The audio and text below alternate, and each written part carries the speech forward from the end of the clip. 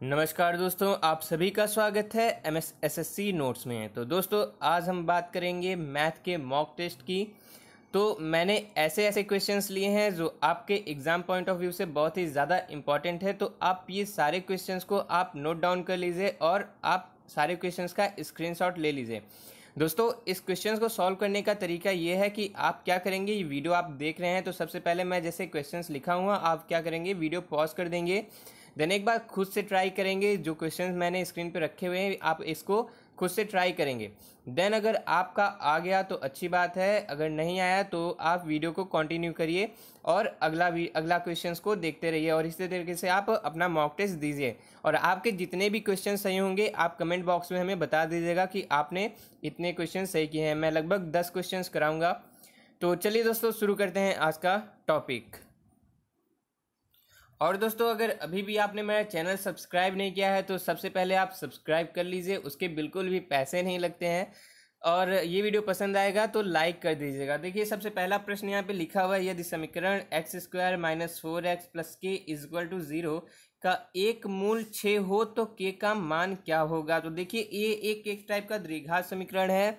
तो द्विघात समीकरण का फॉर्मेट क्या होता है? जैसे A X square plus B X plus C is equal to zero.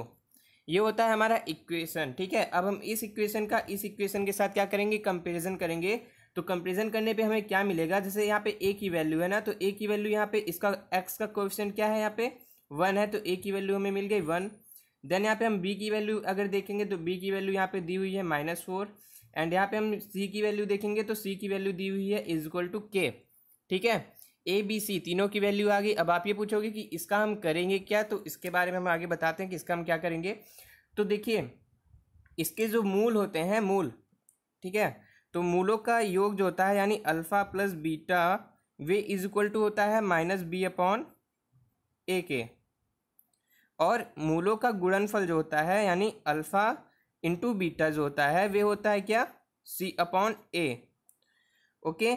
तो देखिए जब alpha plus beta equal to minus B upon A and alpha into beta equal to C upon A. तो देखिए यहाँ पे एक मूल दिया हुआ है, कितना सिक्स दिया हुआ है। इट मीन्स कि यहाँ पे मान लीजिए आप अल्फ़ा की वैल्यू रख देंगे सिक्स, ठीक है? तो यहाँ पे क्या होगा, जैसे अल्फ़ा की वैल्यू आपने सिक्स रख दिया तो alpha plus beta is equal to minus B अब देखिए यहाँ पे माइनस बी का मतलब माइनस फोर मतलब बी की वैल्यू कितनी है? माइनस फोर है। तो हम यहाँ पे बी की वैल्यू पुट करेंगे।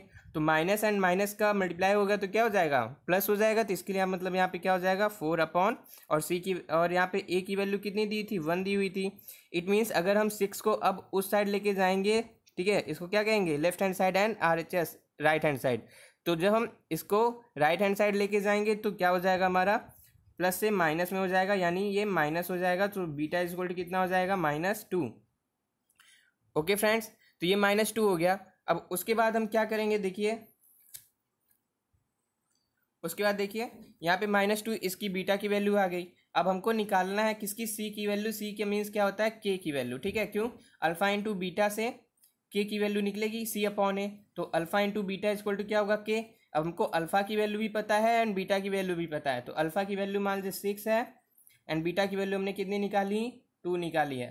तो इज़ इक्वल टू किसके हो जाएगा? के तो सिक्स इंटू टू यानी minus twelve is equal to क्या हो गया? K. So that is the answer okay so ये के इज़ इक्वल टू कितना आ गया? Minus twelve.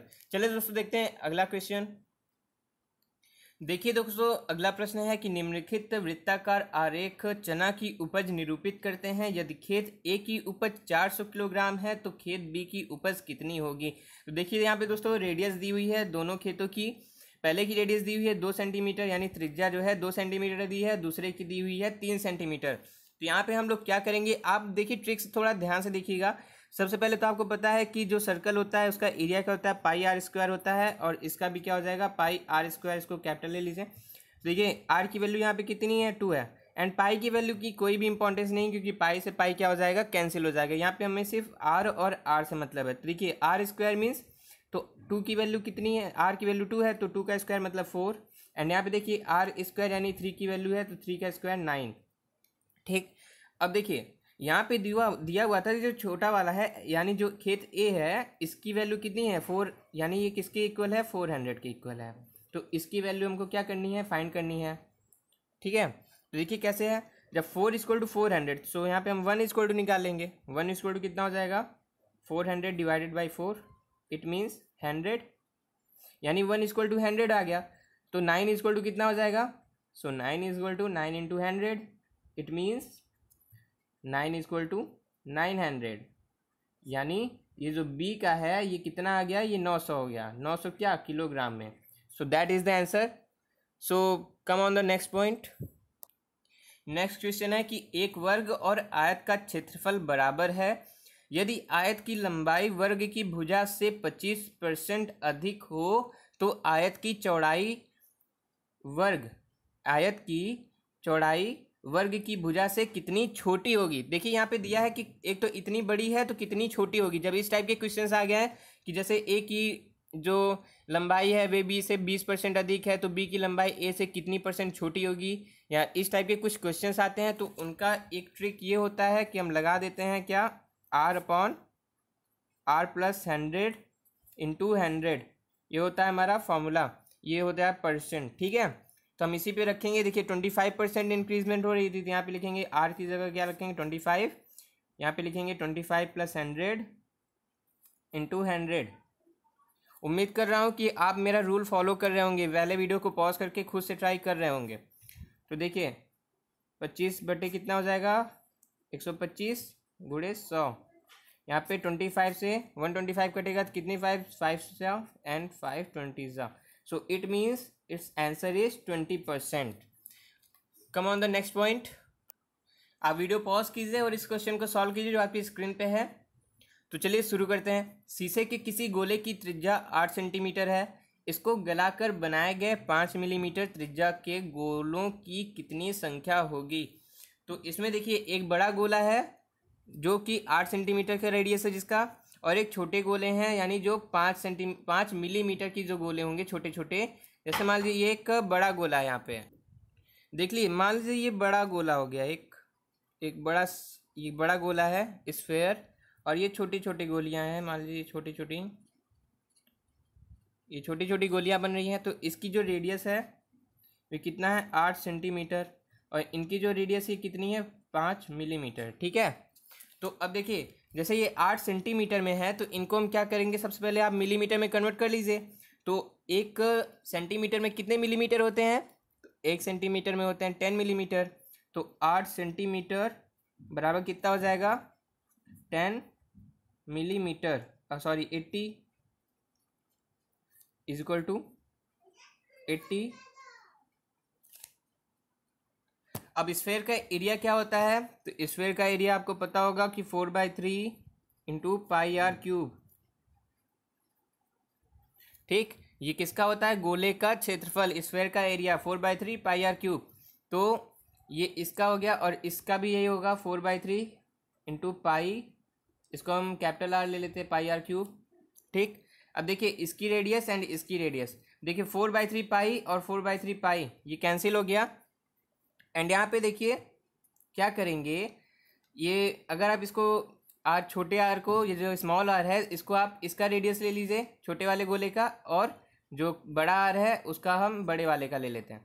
तो देखिए, यानी जब इसका हम इसको, इसमें छोटे वाले में ब्रेक करेंगे तो जितने नंबर आएँगे, वे इसके एरिया के इक्वल हो जाएँगे ना? तो यानी, मान लीजिए हम एक्स आते हैं एक्स नंबर आते हैं तो यहाँ पे आर क्यूब है तो आर क्यूब का मतलब five into five into three three times five ठीक? क्योंकि ये फाइव मिलीमीटर इसकी एरिया है इसका रेडियस है। इसमें देखिए आर क्यूब तो इसका एटी है। तो यहाँ पे देखिए eighty into eighty into eighty cut करिए five five five eighteen eighty eighty यहाँ पे sixteen sixteen into sixteen five sixteen ज़ा एट्टी ठीक है? सिक्सटीन फाइव ज़ा कितना होता है? Eighty so X equal to कितना आ गया? सिक्सटीन का क्यूब तो सिक्सटीन का क्यूब दोस्तों कितना होता है? X equal to four zero nine six ठीक है? फोर थाउज़ेंड नाइन्टी सिक्स क्या हो गया इसका? आंसर हो गया, ठीक है? इतनी गोलियाँ बनेंगी। चलिए देखते हैं अगला क्वेश्चन देखिए ये प्रॉफिट लॉस का है। किसी रेडियो का अंकित मूल्य उसके क्रय मूल्य से बीस परसेंट अधिक है, ठीक है? मार्क प्राइस कितना है? ट्वेंटी परसेंट ज़्यादा है कॉस्ट प्राइस से। यदि अंकित मूल्य पर दस परसेंट का एक बट्टा यानी डिस्काउंट दिया जाए तो लाभ प्रतिशत यानी परसेंटेज प्रॉफिट बताइए। तो कैसे करेंगे? आप पहले खुद से ट्राई कर लीजिए। अब देखिए, सबसे पहले क्या मानेंगे? मान लो सीपी कितना हो गया? सीपी अगर हम हंड्रेड मान लें, ठीक है? कि सीपी कितना है? हंड्रेड है तो मार्क प्राइस कितना हो जाएगा? जब सीपी हंड्रेड है तो बोला मार्क प्राइस कितना है? ट्वेंटी परसेंट ज़्यादा यानी मार्क प्राइस कितना हो गया? वन ट्वेंटी, ठीक रुपीज़ वन ट्वेंटी रुपीज़ ये हो गया। अब उसके बाद ये कह रहा था कि ये टेन परसेंट का डिस्काउंट दे रहा है, यानी डिस्काउंट इक्वल टू कितना है? टेन परसेंट का डिस्काउंट दे रहा है। अब डिस्काउंट किस पे दे रहा है? ये मार्क प्राइस पे डिस्काउंट दे रहा है, ठीक है? डिस्काउंट किस पे दे रहा है? मार्क प्राइस पे। यानी अगर एक सौ बीस रुपये की चीज़ है, अगर दस रुपये उस पर छोड़, दस परसेंट उस पर छोड़ दिया गया तो उसको कितना परसेंट देना पड़ेगा? टोटल कितना होता है? हंड्रेड परसेंट होता है। टोटल ये, यानी जो एक सौ बीस है, ये किसके बराबर है? हंड्रेड परसेंट के बराबर है। अब हम अगर इस हंड्रेड परसेंट में दस परसेंट माइनस करेंगे तो यानी कि यहाँ कितना बचेगा? यहाँ पे बचेगा नाइन्टी परसेंट। ठीक है? तो ये नाइन्टी परसेंट किसका? वन हंड्रेड ट्वेंटी का। तो वन हंड्रेड ट्वेंटी का नाइन्टी परसेंट निकालेंगे। तो वन हंड्रेड ट्वेंटी का नाइन्टी परसेंट मतलब one hundred twenty into ninety percent का मतलब upon hundred. One hundred twenty का नाइन्टी परसेंट, ज़ीरो से ज़ीरो कट होगा। कितना आ गया? One hundred eight. अब देखिए, ये क्या हो गया? ये हो गया सेलिंग प्राइस ठीक? अब देखिए, ये क्या है? सेलिंग प्राइस है। अब सेलिंग प्राइस कितना है? वन हंड्रेड एट और सीपी कितना है? हंड्रेड है। यानी प्रॉफिट कितने का हो रहा है? यानी प्रॉफिट हो रहा है profit equal to eight rupees का। आठ रुपये का प्रॉफिट हो रहा है ना? और कितने पे हो रहा है? हंड्रेड पे हो रहा है। तो एक रुप हंड्रेड का मतलब क्या हो गया? एक रुपये बराबर एक परसेंट तो आठ रुपये बराबर कितना हो गया? आठ परसेंट ठीक है? तो आंसर कितना आ जाएगा? Eight percent profit equal to eight percent चलिए अगला देखते हैं। ये देखिए, इसमें दिया है ए रेशियो बी रेस ए रेशियो बी बराबर two ratio three B ratio C बराबर two ratio four and C ratio D बराबर टू रेशियो फाइव तो ए रेशियो डी की वैल्यू पूछा हुआ है तो हम सबसे पहले क्या करेंगे? सबसे पहले सारी वैल्यूज़ लिख लीजिए। जैसे यहाँ पे आप लिखें ए बी सी डी सारी वैल्यू आपने यहाँ पे लिखी। अब यहाँ पे देखिए ए रेशियो बी दिया है तो ए रेशियो बी यहाँ पे क्या लिखा है? Two ratio three, B ratio की बी रेशियो सी दिया है, टू रेशियो फोर तो यहाँ पे टू रेशियो फोर लिख दिया। अब उसके बाद सी रेशियो डी, यानी सी तो यहाँ पे देखिए सी रेशियो डी तो सी के नीचे लिखेंगे सी का रेशियो और डी की वैल्यू कितनी है, फाइव। देखिए, इतना बना, इस टाइप से आप लिख लीजिए, एक सारणी बना लीजिए। अब देखिए, क्या करेंगे आप? ए और डी की वैल्यू पूछा आप क्या कीजिए पहले? ए की रेशियो निकालने के लिए इसका इसका, आपस में मल्टीप्लाई होगा तो कितना आ जाएगा? यहाँ पे एट आ जाएगा। टू टू टू एट आ गया। अब देखिए सेकेंड टर्म में हम क्या करेंगे? इसमें हम सेकेंड टर्म में three into two into two करेंगे, ठीक है? यानी यहाँ से फिर ये यहाँ पे आएगा, ठीक? तो थ्री टू ज़ा सिक्स सिक्स टू ज़ा ट्वेल्व ये हो गया रेशियो बी का। अब रेशियो सी का देखिए।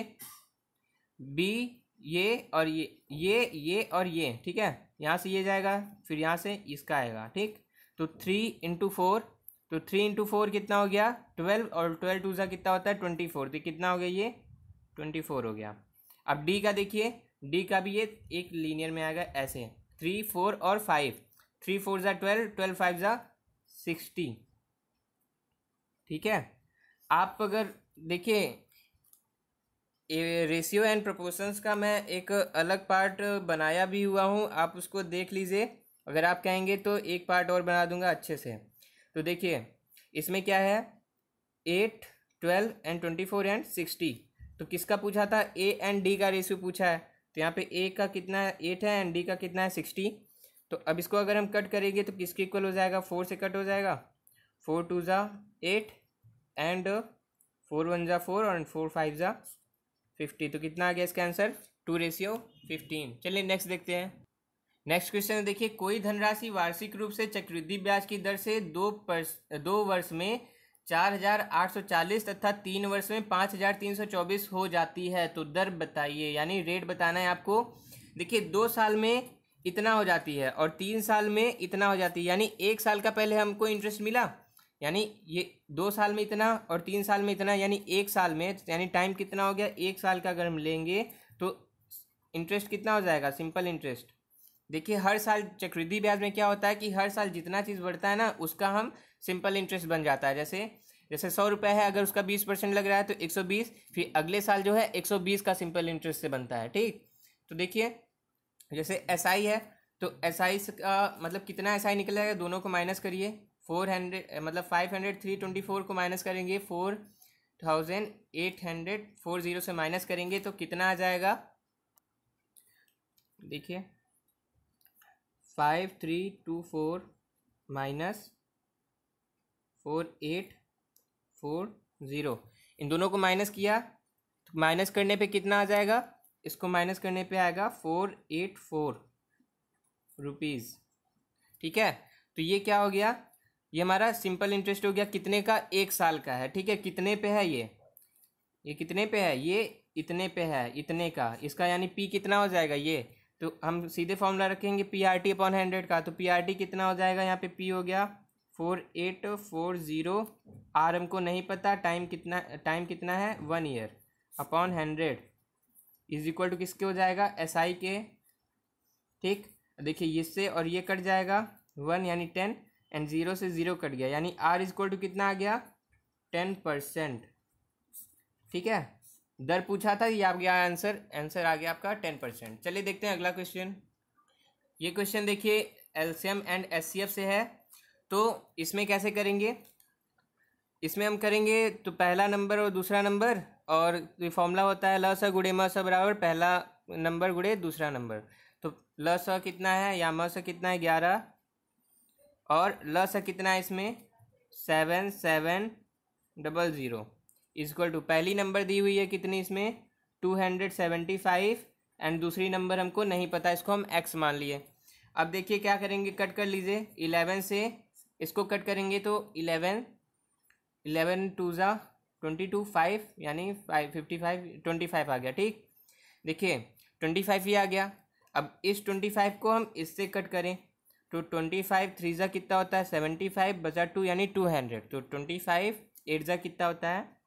यहाँ पे ज़ीरो लगेगा ट्वेंटी फाइव एट ज़ा टू हंड्रेड ठीक?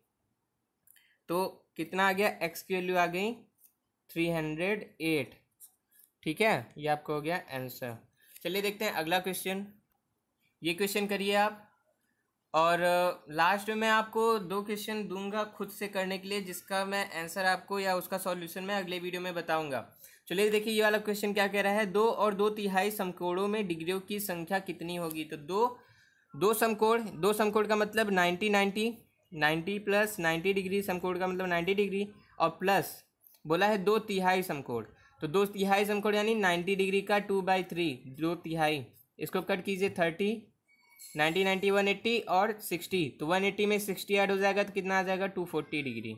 ये हो गया आपका इसका आंसर चलिए देखते हैं अगला क्वेश्चन देखिए, यहाँ पे दो संख्याओं का अनुपात तीन अनुपात आठ है और उनका अंतर एक सौ पंद्रह है तो बड़ी संख्या बताइए। बड़ी संख्या बतानी है तो देखिए, यहाँ पे इन दो संख्याएँ मान लीजिए, वो संख्याएँ कौन सी है? संख्या मान लीजिए तीन और आठ है तो इनका अंतर बोला है तो इनका अंतर कितना है? एक सौ पंद्रह। तो इनका अंतर मतलब इन दोनों को माइनस कर दीजिए, यानी आठ माइनस तीन, करेंगे कितना आ जाएगा? पाँच। ये पाँच जो है, किसके बराबर हो जाएगा? एक सौ पंद्रह के, यानी पाँच बराबर कीजिए एक सौ पंद्रह के कट कीजिए। पाँच दुनी दस, पाँच पंद्रह, यानी वन इक्वल टू कितना आ गया? ट्वेंटी थ्री आ गया। बोला है बड़ी संख्या बताइए तो बड़ी संख्या बराबर क्या है? आठ है। जब एक बराबर तेईस आ गया तो आठ बराबर कितना आ जाएगा? तेईस गुड़े आठ। ठीक? मल्टीप्लाई कर दीजिए। एट थ्री ज़ा, twenty four. Four. Eight two ज़ा, सिक्सटीन। सिक्सटीन और फोर, ट्वेंटी। Sorry, eighteen. ठीक है? आपका आंसर कितना आ गया? वन हंड्रेड एट्टी फोर, ठीक है? ये हो गया। तो दोस्तों, आज के ये थे कुछ इंपॉर्टेंट क्वेश्चंस आई होप कि आपको मज़ा आया होगा सारे क्वेश्चंस करने में। अगर किसी क्वेश्चन से प्रॉब्लम है तो आप कमेंट में डाल दीजिएगा क्वेश्चन नंबर्स और आपने जितने क्वेश्चंस आपने खुद से अटेम्प्ट किए हैं, वे भी नंबर भी आप डाल दीजिए कि आपने कितने क्वेश्चंस अटेम्प्ट किए हैं खुद से और कितने क्वेश्चंस आपको नहीं आ रहे थे। तो दोस्तों, अब बारी आती है आपको वर्क देने की। देखिए, दो क्वेश्चंस आपके स्क्रीन पे हैं। आप इनका स्क्रीनशॉट ले लीजिए और इसका आंसर आप बताइए। अगर नहीं आएगा तो भी बता दीजिएगा कि नहीं आ रहा है, ताकि अगले वीडियो में इसको समझा दूँगा आपको। और दोस्तों, आप सब्सक्राइब लाइक एंड कमेंट करना मत भूलिएगा। तो दोस्तों, मिलते हैं अगले वीडियो में। तब तक के लिए नमस्कार।